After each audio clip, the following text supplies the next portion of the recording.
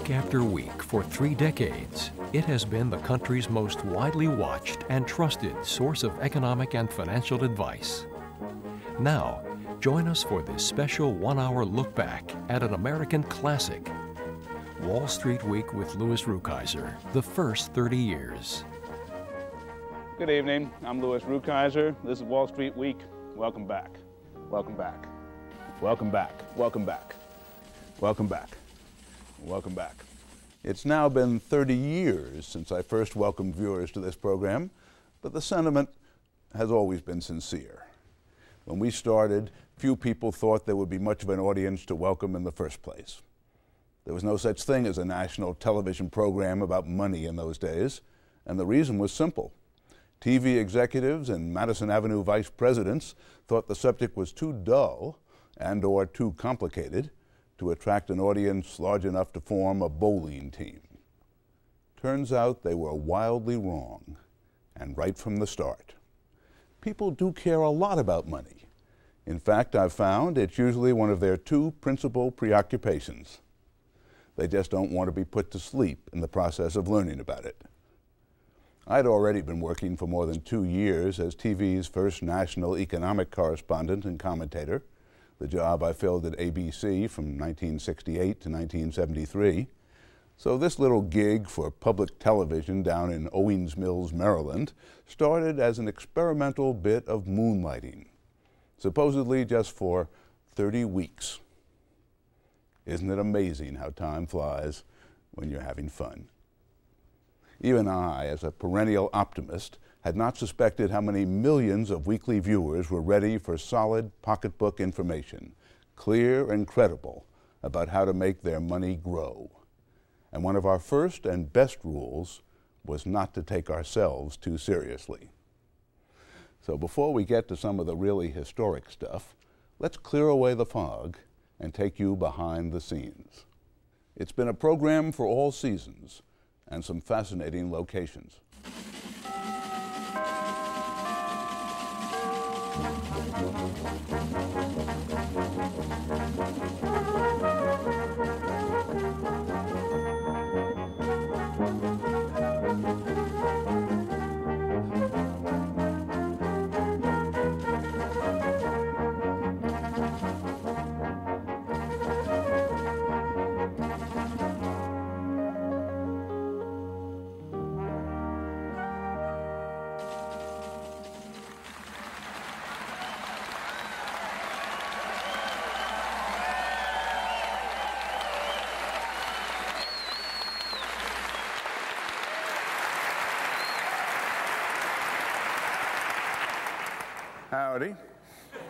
Good evening. I'm Louis Rukeyser. This is Wall Street Week. Welcome back. Well, one thing's for sure. This is not Owings Mills, Maryland. It is, in fact, the floor of the world's newest and most technologically advanced stock market, the one-year-old Toronto Stock Exchange. For this is the OEX trading pit at the Chicago Board Options Exchange. From Tokyo, produced Friday, May 28. Welcome to the very first Wall Street Week from St. Louis. And boy, is it about time. Well, here we are in jolly old London, and life certainly does look different when you travel to a strange foreign country. Welcome to a very special Wall Street Week from Rio. And we gave some fascinating career advice, too. To signal 30 30 seconds, you move your fist up and down like this. That ought to clear away the wimps. Want to buy a hundred contracts at that price? Just do this. I kid you not. And for a thousand, make like an Indian. Of course, we never advocated anything as crass as gambling. You know, I've always advocated long-term investing, so I'll spring for one more quarter. Ah, you're talking. Some strange characters showed up from time to time. Uh, what's up, Doc? Besides the market. Good evening, I'm Louis Rukeyser. This is Wall Street Week. Welcome back. Everybody wants to get into the act. In total darkness, its infrared illumination lets you know who's around and what they're saying.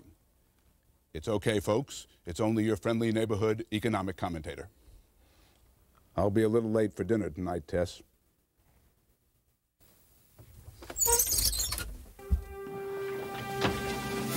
Oops, wrong show. Buy low, sell high. But I tried to keep my dignity at all costs. The Wonder Bra, which is based, it would seem, on the conviction that things don't have to be precisely what they seem. Peekaboo chiffon nightgown and matching G string. It's me.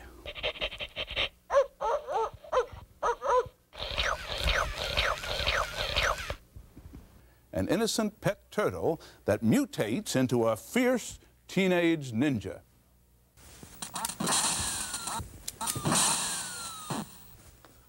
Take that, short sellers. If your broker advised you to stay out of the market in 1995, you might want to try this Nerf secret shot on the rascal.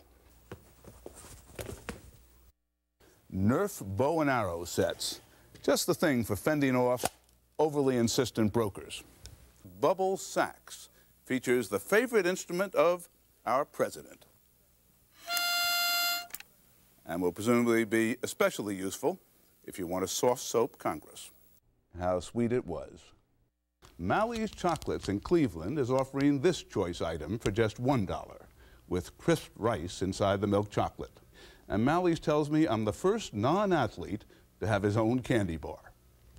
Obviously, they've never seen me play second base.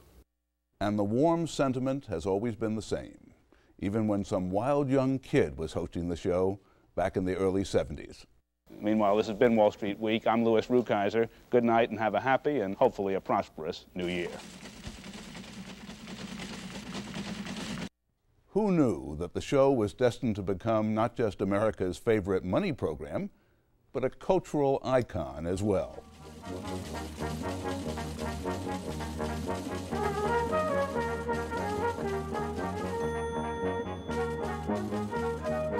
Street Week is starting. He's gonna miss it.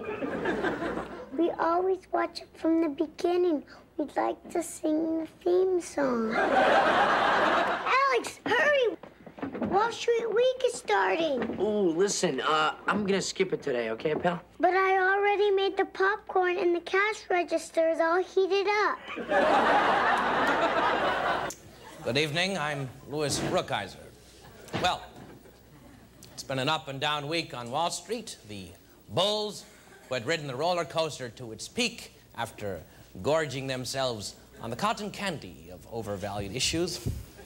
Wall Street Week. Louis uh, Rukeyser. Well, folks, I suppose it had to happen one of these days. The newest superstar in the world of money actually is a pig. Here with us tonight is our special guest on Wall Street Week, Gordy.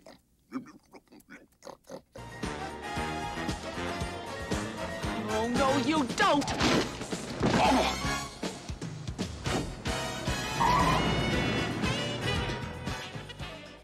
Good morning, Salem. Checking your stocks? Yes, and they're all down. Down, down, down. Well, you know, what goes down must come up. Thank you, Louis Rukeyser. When the program started in 1970, the Dow Jones Industrial Average had never closed above 1,000, let alone 10,000. But it finally accomplished this in 1972. Not long after, though, it went into its greatest swoon since 1929. And as the Dow Jones Industrial Average indicates, the market's downhill run was virtually uninterrupted. By the end of the week, the closely watched Dow average had dipped below its previous 1974 lows to a depth it hadn't seen since October 26, 1962. Few other price indexes can make that claim.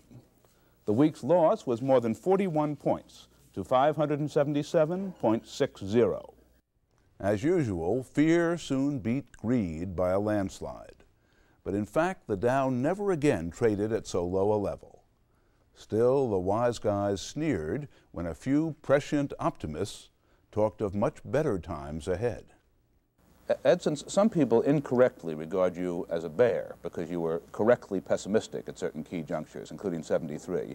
But in fact, you've just given us a pretty optimistic viewpoint, and I've heard you talking about even higher figures for the ultimate future. Do you still see 3,000, 4,000, 5,000? Oh, yes, every generation uh, has its big bull market that blows off. We had it in the 20s, we had it in the 50s and early 60s. We'll get it in the 80s and 90s. How high are we going to go? I would say there's a better than even chance that within six, seven, or eight years we will see the Dow Jones Industrial Average sometime above 3,000. In October 1981, eight months before history's greatest bull market began, I interviewed a seemingly bizarre guest who turned out to be an uncannily accurate forecaster. I'm a little confused. You said we're in a bear market, but earlier you said we were going to be in a bull market. When, when do we get out of this bear market and into that bull market? The end of the bear market, the earliest I can count it is about August 26, 1982. It might be a little later. W will we go lower than we've been between now and then? Probably. But uh, I'm not one of these 600 boys. I think uh, 750 to 770 is more like the range of the final low. August 26, 1982. Now, how do you pick the day like that? And can you tell me precisely what time Eastern I use Daylight about Time? seven or eight methods. The count from the middle section, the standard time spans, which appeared in the Encyclopedia of Stock Market Techniques. But usually, uh, picking the exact day of a low or a high is usually the, done by the count from the middle section. Your predictions are so specific and so long range that I think the remarkable thing is not that you're sometimes wrong, but that you're ever right. I think it's absolutely incredible. Well, even if you don't know the count from the middle section from Count Dracula, you have to admire the late Mr. Lindsay. The market took off almost precisely on his schedule. Six years after his appearance, on the eve of what became known as the crash of 1987, there was another famous bullseye prediction in the other direction. I haven't been looking for a bear market per se. I've been really in my own mind looking for a crash, but I didn't want to talk about it publicly because it's like shouting fire in a crowded theater, and there's other ways to play it. You just tilt your strategy negatively and you shut your mouth. I only look for a brief decline, but a vicious one. Marty had it exactly right. A week later, after the worst crash since 1929, I offered a little reassurance to terrified investors around the globe. Okay, let's start with what's really important tonight. It's just your money, not your life. Everybody who really loved you a week ago still loves you tonight. And that's a heck of a lot more important than the numbers on a brokerage statement. The robins will sing, the crocuses will bloom, babies will gurgle, and puppies will curl up in your lap and drift happily to sleep, even when the stock market goes temporarily insane. And now that that's all fully in perspective, let me say, ouch, and eek, and medic. And once again, it transpired, the end of the world really hadn't arrived. The Dow not only regained what it had lost, it doubled and doubled again and kept on rising. But as always with investing, there were occasional brief interruptions. Some seemed to hurt worse than others. Good evening. I'm Louis Rukeyser. This is Wall Street Week. Welcome back. Well, a funny thing happened to me on the way to the studio. There we were, jogging along blissfully toward 10,000 on the Dow, when we fell into this huge hole and got battered pretty badly. Were you there too? Did you get hurt too? Gosh, I'm sorry. But just knowing that the misery was shared by so many nice people has me feeling better already. How about you?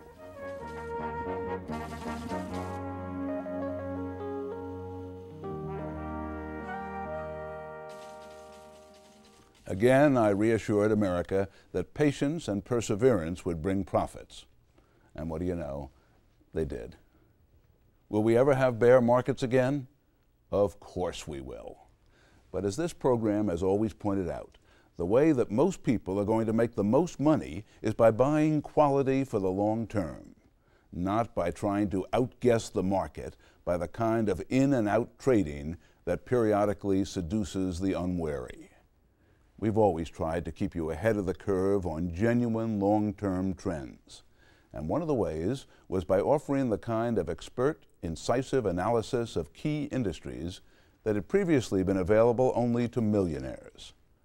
Our guests and panelists have peered into some remarkably accurate crystal balls. Charlie, how serious is the energy crisis? Lou, it's large. It's going to be with us for a long time. It's going to be a fact of life which we have never experienced before, which is going to change our way of life and the future of our industrial society.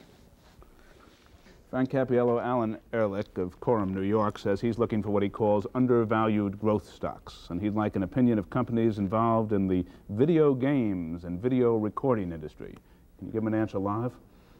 Well, I think so, Lou. Uh, video games is the rigging of your television set to uh, play electronic hockey or electronic uh, tennis, and it's a growth area. Three million sets sold uh, last year. That's up 10 times from 1975. Uh, but it's a tricky area. And uh, the company I like in this area, and I think there is growth here, uh, would be a company called Warner Communications. Uh, this is a company that not only has a fine subsidiary, Atari, which produces the games, but uh, also has other things, motion pictures and so on. Uh, selling at six times earnings, I think it's undervalued.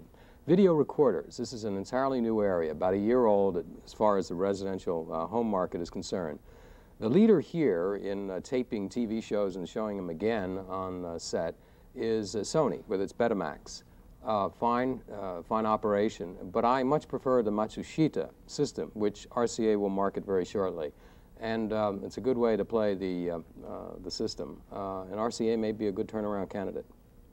I think the movie industry for the next, oh, let's say three to five years in terms of theatrical viewing in theaters I believe it's going to continue to be approximately flat. In other words, two and a half to three billion dollars a year will be spent on it.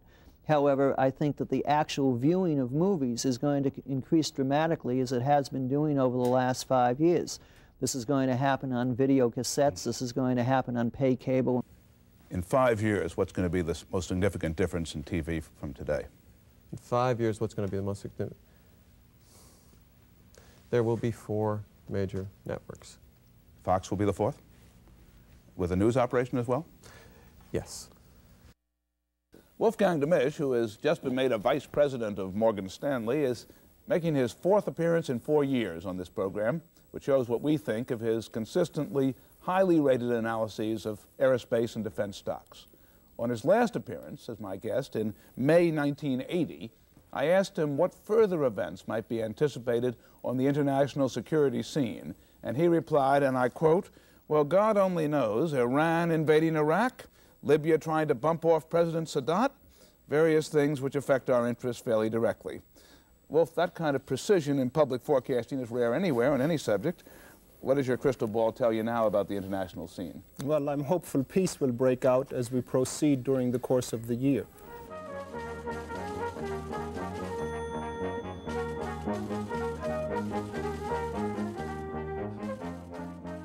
Many years before new economy became a glib catchphrase, when technology investors were widely viewed as sci fi wackos, some brave souls came to Owings Mills and made what may have been the most profitable recommendations ever heard on television. Our primary recommendations are Intel, which is over the counter, Texas Instruments, and National Semiconductor. I gather that the hot new word in the industry is microprocessors. Would you define it for us and tell us why it's hot? Uh, yes, a microprocessor is most simply a full-fledged computer on a single chip of silicon about a fifth of an inch by a fifth of an inch. And it is a revolution in computation. It allows you to have a computer uh, for the price of about $10. And I predict, Louis, that uh, five years from now you're going to have a microprocessor in your home, in your car, uh, on your wrist, in your telephone, and perhaps in other places. Well, I certainly hope not.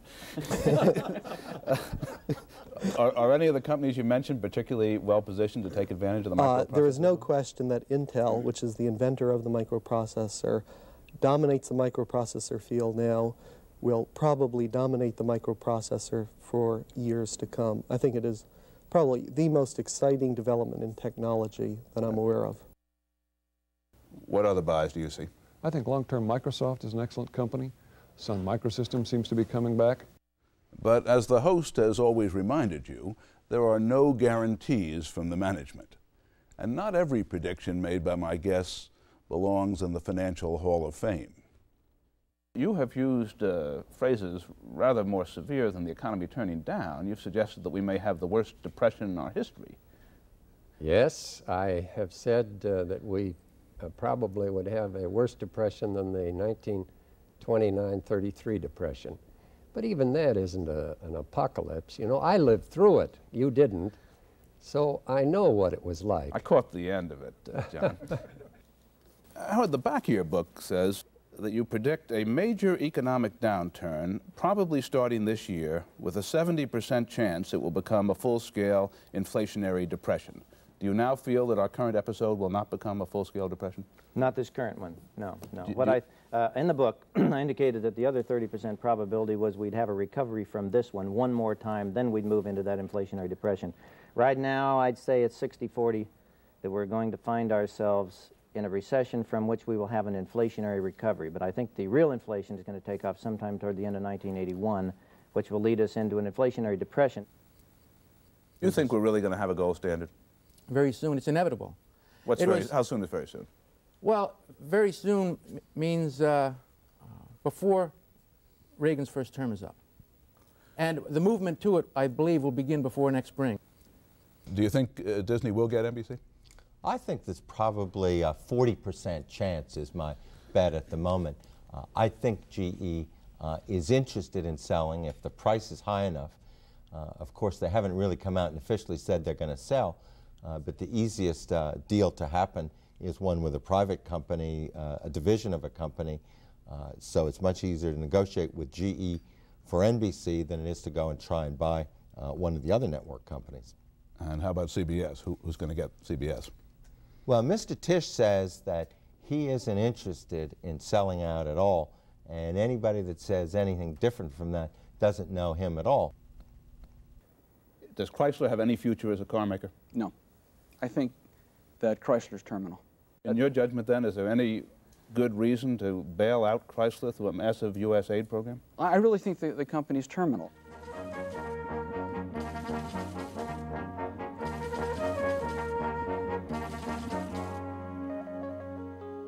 This show has never been solely about investments. We've talked about anything that affected people and their money. And my guests have included some of the most powerful persons in the world business leaders who ran for president, present and future cabinet officials, world class economists, and the two men who have been chairman of the Federal Reserve Board for more than two decades.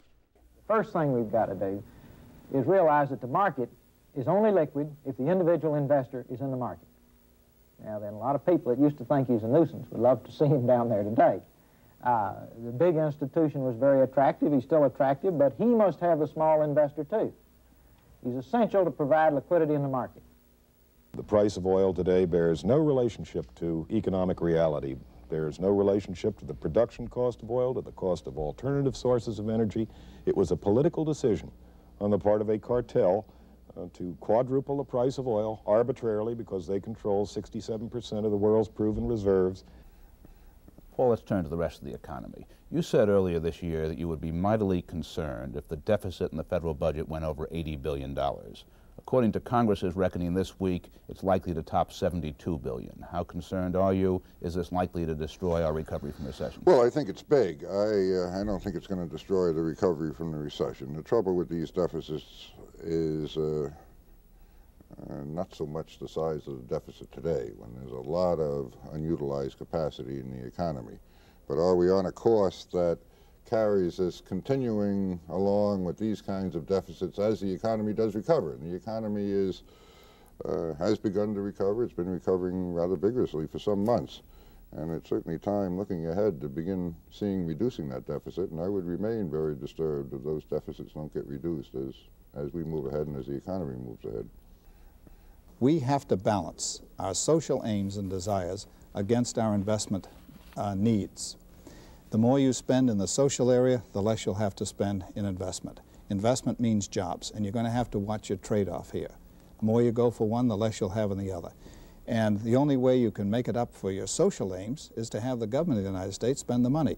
And therein lies the problem. If the government decides to come into the capital markets in uh, a large way, there's less capital available for everyone else. If the government cuts back on its desires, there will be enough capital to go around. Seems to me you're suggesting that we are going to go a little bit downhill in this world. Is that correct? I think so, yes. I think that uh, when you begin to look at the world of the 1990s, uh, I think the United States comes down a notch or two. Will we live worse or just live not as relatively better? I think not as relatively better. Look, you know, there's a lot of talk about the United States losing its sort of per capita income uh, uh, leadership in the world. But the real issue is that the average American household has got the best homes in the world, it's got the best sets of appliances, the best telecommunications. The average American still lives far better than the average anything else. The trouble is, is that the gap, which used to be huge, is now beginning to narrow. It's going to narrow further. Milton, we only have about a minute left. Let's see if we can hopscotch a little bit. Should we abolish the Federal Reserve Board? Yes. What would you replace it with? A computer. and what would you tell the computer to do? I would tell the computer to see to it that the money supply goes up at exactly 2% per year or as close there to as it can manage on a week by week, month by month, year by year basis. Is there any form of government regulation that you favor? Absolutely. There are many forms. I favor the form of government regulation which says that if you murder your wife, you go to jail. I favor the form of government regulation which says you have to drive on the right side of the road. Ken, you've never lost faith in the power of government to cure economic ills, but most of the country apparently has. How do you explain that? Oh, there's no, no doubt about that, uh, Lou. Uh, the, my generation is responsible uh, through the Keynesian revolution, the welfare revolution. Uh, a great many Americans, a majority of Americans have become comfortable, happy, and uh, inevitably conservative, uh, at least those that vote. Malcolm, welcome. We're just delighted to have you with us. Oh, it's a pleasure. Please. After that build-up, I'm a little trepidatious. Don't you be trepidatious. I know you're intimidated, but take it easy. You may have a career if you do well tonight. Malcolm Forbes is often called the happy capitalist, and one look just now will tell you why. In addition to his notable holdings, he's the chairman, he's the editor-in-chief as well of Forbes, a business magazine founded in 1917 by his father, a Scottish immigrant. It's now one of the largest and most respected in the field. Malcolm, you were born rich. You've become a heck of a lot richer. But most of the public attention, as I already suggested, is centered on the way you've spent all that money. Now, your father, they tell me, was a pretty tight Scot. How would he feel about all this publicity? Well, I'm, I'm, sure he wouldn't mind the publicity. It's the price that would bother him. was, was, was he stingy in expenditures? Was that your household atmosphere? No, he wasn't stingy. He was stingy in non-essential expenditures, of which he considered uh, over-generous allowances in that category. I remember whenever we left the living room to go into dinner, we were all taught to turn out the lights on the way into the dining room. Uh, he wasn't stingy, he just had a great respect for money, and I've developed a great affection for it. well, what is your attitude toward money? that it's a very nice thing to have. Well, parts of your book read eerily like a script for what's been happening in Europe this month. For example, you wrote presciently, and I quote, a common currency will be the final step in a completely integrated market, and the European economic community has moved toward this eventuality. But this surrender of sovereignty touches the very heart of the nation state. To lose control of the right to issue currency is an attack against one of sovereignty's most valued rights. Should we expect next in this European currency crisis? Well, I think it was almost inevitable, Lou, that uh, what happened last week was going to happen. Once you have disparate economies and disparate nation states uh, and a market as big as we now have, uh, fixed exchange rates are an artifact of the past. the float is the only thing that will act as a shock absorber between disparate national policies. We Americans are notorious for our short memory spans, but you and I have been around for a while. Can you recall any time when raising taxes actually reduced a deficit? I think you're going to see this time, with what we lock in in the way of this program, a very material reduction in that deficit, and I haven't seen that in a long time. And I'll tell you who reacts to it. The bond market has. They believe it. You're seeing uh, almost 100 basis points drop in interest rates, and that is a substantial stimulus to this economy.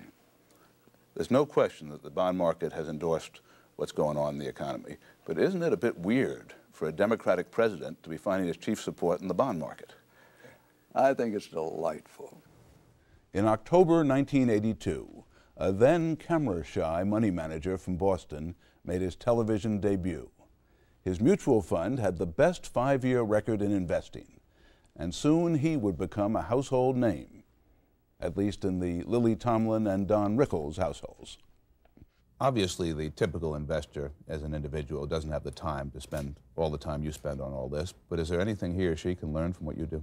I, I, I'm amazed that the average investor is out there in some industry. They're in the polyvinyl chloride industry, they're in insurance, they're in textiles, and they're going to see those industries turn. And they're not going to buy those stocks. They're going to go buy some stock from somebody in the National Guard, or they're going to have something on television on biogenetics. They have a big edge in me. I work awful hard, and they're months ahead of me. They can be in the healthcare industry. They're seeing new products. They should work on that, on that that they have in front of them. As they used to tell writers, write what you know, you're telling them buy what you know. Yes. What, do you, what would you tell them not to do? What do you think of the mistakes well, people I, make? Uh, this is a common mistake I do. I think people buy stocks because they've fallen from price X to two-thirds of X or half of X. On that basis alone, they're buying a stock. That's called bottom fishing in the stock market. Very, very difficult. I've had a rough go with it. Standard Oil Ohio this year fell from 90 to 60, and I told everybody, this stock is not going to go any lower. Then it went to 50, and I said, this is it, no lower. As it went through 40, I said to people, this is it. Finally, when it got down under 30 and people said, what do you think is Sohio? I said, what, what does Sohio do? I don't, I don't know that company. See, it, it, you, I absolutely backed away from it. You, you didn't like to buy low.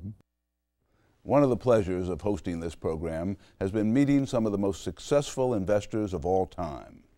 Back in 1995, I interviewed a stripling of 98 years about the markets.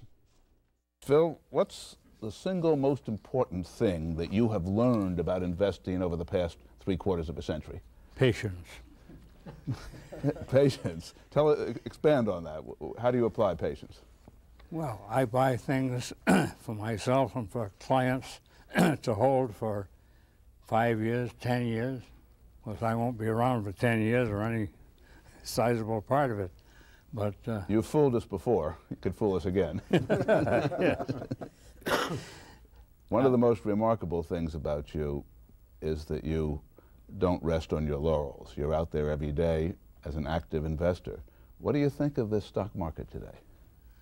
I think it's uh, dangerous at present levels. uh, too, uh, a lot of froth on the boom. I think uh, probably we're in for a, maybe something like 1987 when the market went down 500 points in one day. Perhaps we'll have a repeat of that. But in the long run, this is a great country, uh, despite being uh, having too much government. And I think in the long run, why uh, the market will recover, and people who buy the right stocks and sit on them are going to do very well. What do you do, given your experience, when you think there may be too much froth, when you think there may be a major correction, even a crash. Do you sell all your stocks? no, I really don't do anything. you just show I, that patience, huh? I bought them for the long pull, and I, I can, uh, I've seen a lot of recessions, and I can live through them, and I can do it again, perhaps.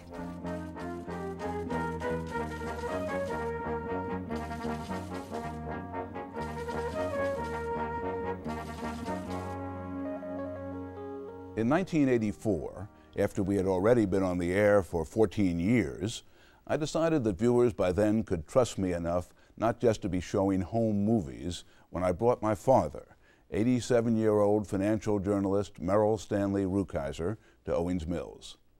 He quickly became our viewers' favorite guest, the ageless boy wonder of Wall Street. Wall Street's never been popular, and uh, it, it's an easy uh, uh, plaything for the demagogues. And I think that th those who speak about fairness and the fairness of an incumbent president and a tax bill are not only attacking the incumbent, but they're attacking the whole system because the nature of a competitive system is inequality. We pay people according to their productivity. If you want to pay, pay people equally, then I recommend communism. They promise it, they don't always perform it. Well, at 87, you belong to one of the constituencies that was singled out for special attention this week. Uh, how do you feel about being described as a senior citizen? I resent it. I'm against hyphenated Americans, whether they're German Americans or Jewish Americans or Italian Americans or gay Americans or sober Americans. I mean, you think you're just a citizen. The big story this past year in the economy was all the corporate mergers. Have we ever had this before? Yeah, we've had mergers before, but I think uh, there's some aspects of it uh, that need uh, a little straightening out. I think it's a conflict of interest when management uh, puts itself in conflict with the stockholders and uh, makes a leveraged buyout. They, they've been hired to work for the stockholders, not to trade against them. You were quoted earlier this year in one magazine with something that still sounds pretty good to me. You talk about constants. You said there's no sure investment, no chance of being right every time. All you have to work with is careful selection, persistent supervision, and diversification to cushion your mistakes. Successful investors know themselves and do their own thinking. They don't react to each market fluctuation. They find a good investment and let it pay off. Would you want to amend that at all now? No, uh, that was pretty clever of me. I didn't remember saying that. Are you still uh, a holder of common stocks? I am, but I, uh, with the advice and consent of my heirs and assigns, I took advantage of my age and bought a non-refund annuity so I could afford to hold, hold common stocks that only paid a small rate on the purchase, the market value. But when you were investing for your own account, you still believed in the future of the stock market? Yes, and I believed that I was assuming certain risks. I didn't think I was making a riskless adventure.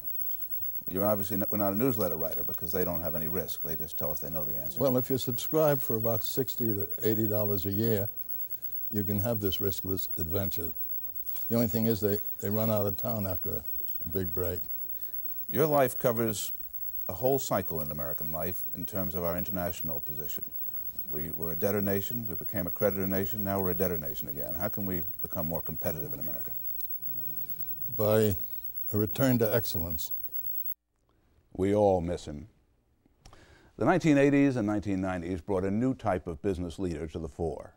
There was the corporate raider and the heretofore anonymous CEO as coat figure. Boone, you say you're the champion of the small stockholder.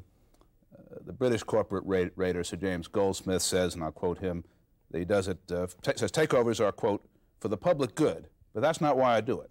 I do it to make money. Isn't that really your number one motivation?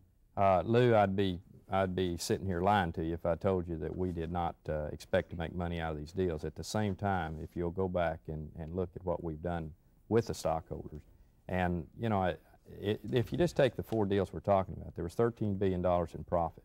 That profit went right back into uh, to this economy, and uh, it's moved around very quickly. Some back into stocks and whatever else, but it creates jobs. It does a lot of things in America. So I like to see that capital moved around, and I like to see people make money off of uh, off these deals, and they do.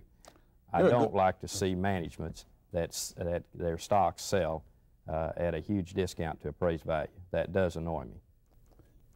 One of the reasons we pay CEOs as much as we do is that they have to sustain more headaches than the average person.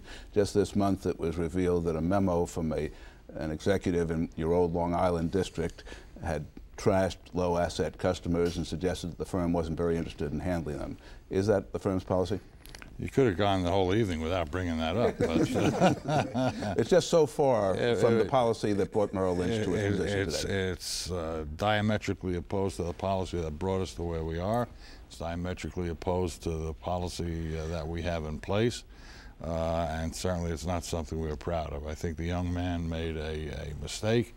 I know he regrets it, uh, but certainly this is not something uh, uh, that we will contend with uh, nor approve. So.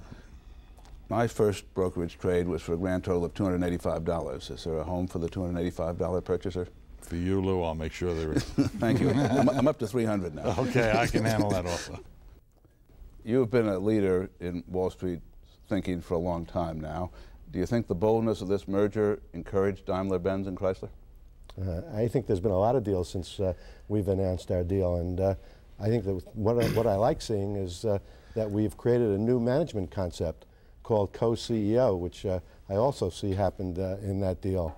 While the relationship between you and Sandy is obviously very close and you present yourself as equals in this merger, Sandy's chief aide, Jamie Dimon, has been named president of the new Citigroup, and there's a lot of speculation that Travelers is going to be the dominant partner here. Is this incorrect speculation?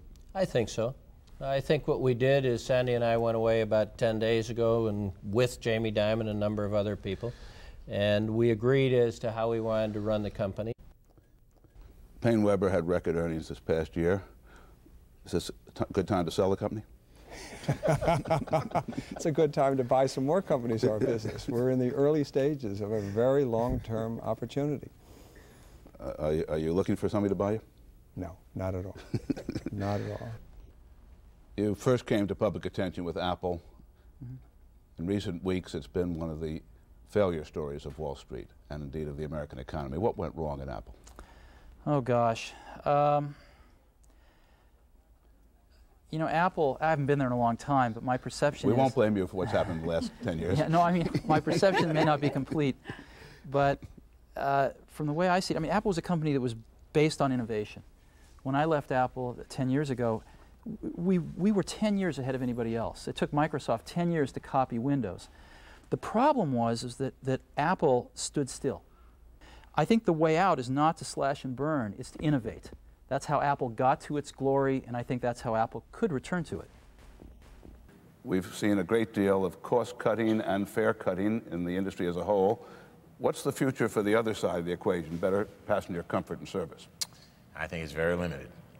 Uh, Very limited? Very limited. The reality is that the airline industry is intensely competitive. We do what our customers have told us uh, they want us to do. I made a speech the other day, and I, I made the observation that, that uh, generally speaking, the public has said they would rather have more seats in the airplane and lower prices.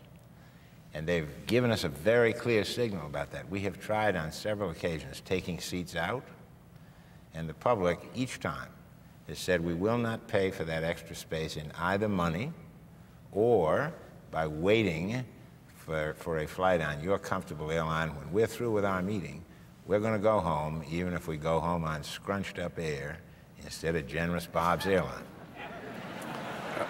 Uh, I accept your forecast, though it disheartens me.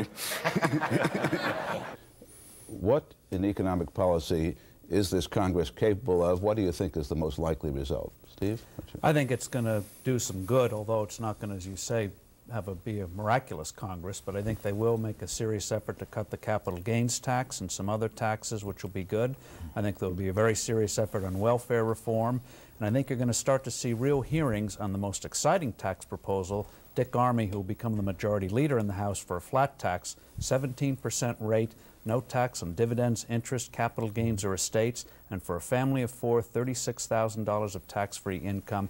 That's going to send the economy off like a rocket, and I think it'll happen after the 96 elections. Akio, is Japan an unfair player in the world economic game? I don't think so, uh, because that maybe that is a uh, difference of the viewpoint. For example, from us, sometimes American looks unfair. For example, American auto manufacturer uh, complaining Japanese auto export, but on the other hand, they are buying from Japan automobile under their label every year increasingly. So such attitude for us looks unfair. They weren't perfect, but neither, alas, was your genial host. Don, welcome. Delighted to have you north of the Mason-Dixon line. Thank you. As a number of our more astute viewers pointed out, Maryland is actually south of the Mason-Dixon line. And then there was the time I tripped up on English literature. And finally, let's really get out the perfume and lace for the most adorable creature of 1987, the stock market. Only Shakespeare, I fear, will do. So let's try How Do I Love Thee? Let Me Count the Ways. 1900, 2000, 2100, 2200. Keep it up, baby. You're beautiful. Okay, first things first. Let's stop all those great poets and shocked English teachers from spinning in their graves. For this was the week when I finally found out what you people out there really care about. And as a result, tonight I have to make my first public correction in 17 years of Wall Street Week. As hundreds upon hundreds of literate viewers have triumphantly, nay, gleefully pointed out, I was less than entirely accurate last week when, in the course of offering some Valentine verses of my own, I suggested that the sonnet, including the words, How do I love thee, let me count the ways, was by Shakespeare.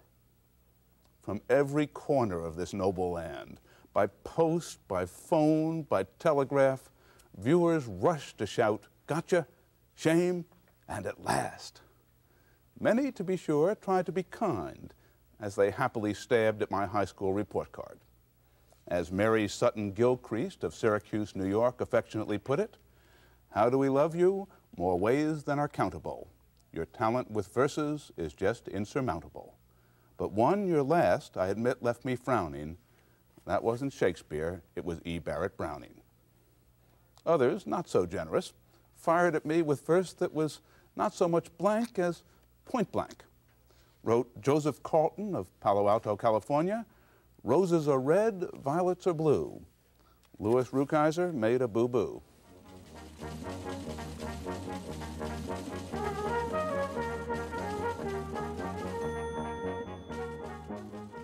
Then there was the time when, having single handedly boosted the stock market to a series of all time highs, I decided it was safe to do some traveling. As it turns out, I didn't know my own strength. Well, okay, so what did I do on my summer vacation this year? I went to Moscow, and they had a coup. I kid you not. There I was, sleeping peacefully in my hotel room in the very capital of the evil empire, when a bunch of hardline communists had the temerity to try to overthrow the government. Who did those guys think they were dealing with? Well, they ought to know by now, because I sure showed them. By the end of the week, as you may have heard, the coup was defeated, world communism had crumbled, the Baltic states were liberated, the evil empire had disintegrated, and the Soviet Union was history. The nerve of those guys. Now, my only question is where should I go on vacation next year?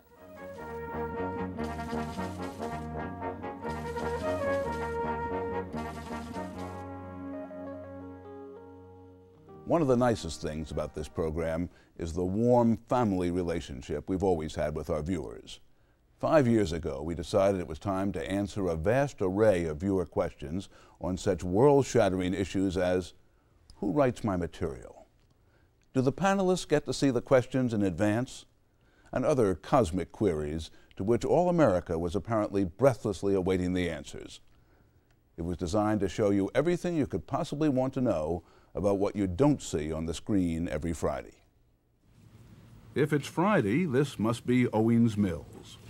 I've been coming to the studios of Maryland Public Television to do this program almost every Friday for the past quarter century. It began as a bit of moonlighting. I was already a commentator for ABC News and continued as a full-time ABC political and economic analyst for the next three years. Since then, I've been out on my own the other six days of the week. Hi, Kelly. Hey, Lou. Owings Mills, which I like to think of as the financial nerve center of the universe, is actually a suburb northwest of Baltimore. And though I live hundreds of miles away, this building has become a sort of second home. I generally arrive in the early afternoon, and my first important job is to have lunch. Hi. Hello, Daddy. I love your outfit. Thank you. When I was a young newspaper reporter, an editor once told me that serious journalists should always order ham and cheese on rye, and thereby save their creative powers for their work. I then read every comment that viewers have sent me that week and answer as many letters as I can. We really do have the most loyal and astute audience in the world, and I always look forward to finding out what they're thinking now. Next, I work the phones and check the news a bit, work on a few future projects, and don't actually start to write that night's show until about 4:30 p.m. And yes, I do write my own stuff, every syllable of it. Whose stuff did you think I wrote? I check over the graphics for that night's show, making any last-minute changes, chat with Rich Dubroff, who has been producing the show for the past 14 years and is one of the three most conscientious people in the history of television, and around 6, begin writing that night's opening commentary. If inspiration doesn't immediately appear, I look for him in the hall.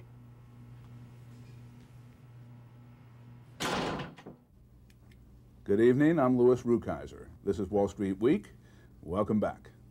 Hi, Mary. How are you? Meanwhile, the panelists and guests begin to arrive. While I'm typing, they're eating, having makeup applied, and getting acquainted. Natalie Seltz, our on air hostess in the role of Miss Smith, is making them feel a little more at ease. The crew is getting ready, and so is our director, George Benneman. George is the only other person besides me who has been with the show since it started, and he's been our director for 19 years. He's also an extremely conservative dresser. If all goes well, we pre-tape the show starting about 7:45 p.m. Eastern Time. Otherwise, we do it live at 8:30. If we're taping, Natalie will lead the group into the studio around 7:15. It takes me about 90 minutes to write my opening, so it's usually close to 7:30 when I finish up and pop in to get a little makeup. Please remember that there's only so much they can do with the raw material I provide. Next, it's into the studio, about five minutes before showtime. No time, of course, for anything so boring as a rehearsal. I'll quickly check my opening position and say a friendly hello to the guest, whom I will not have seen until then. For a lot of our guests, it's their first time on television, and I try to make them feel at home. Three, two, one. Showtime. Okay, folks. The show itself is the easy part, and usually lots of fun.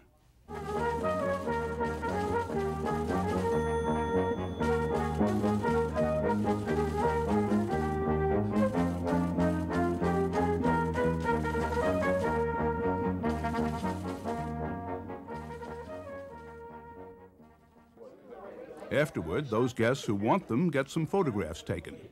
Most enjoy watching the show with us as it goes out to viewers, and then we'll work on next week's program. On the weeks we use viewer questions, I'll pick them and have them sent to the panelists, who can do the necessary research instead of answering them off the cuff.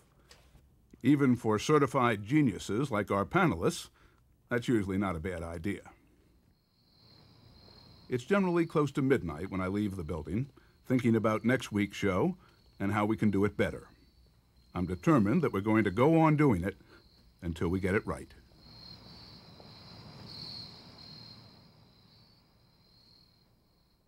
Well, I hope we've gotten it right for you more often than not.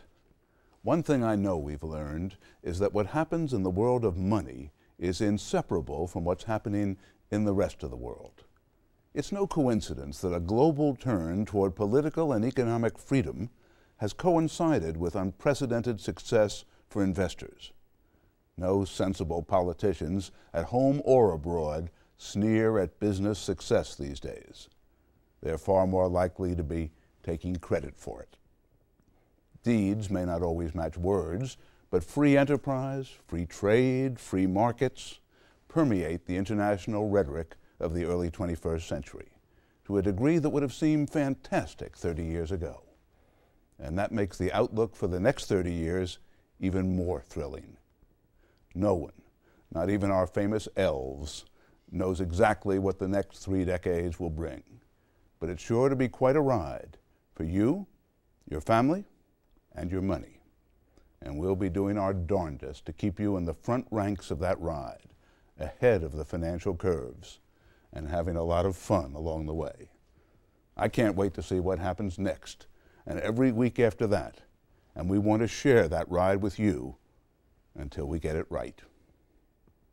I'm Louis Rukeyser, and I'm awfully glad you came to help us celebrate. Meanwhile, this has been Wall Street Week. I'm Louis Rukeyser. Good night. Good night. Good night. Good night. Good night. Good night. Wall Street Week with Louis Rukeyser, the first 30 years, is produced in association with Rukeyser Television Incorporated and by Maryland Public Television.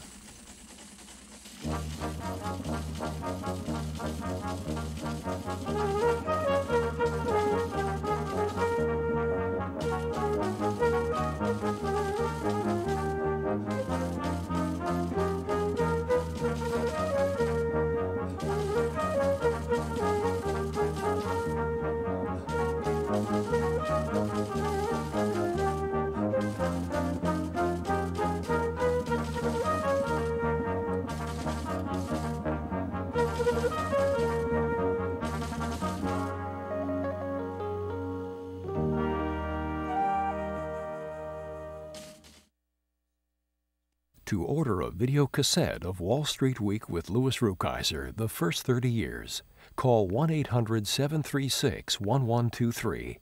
The cost is $35.90, including shipping and handling. Credit cards are accepted. This is PBS.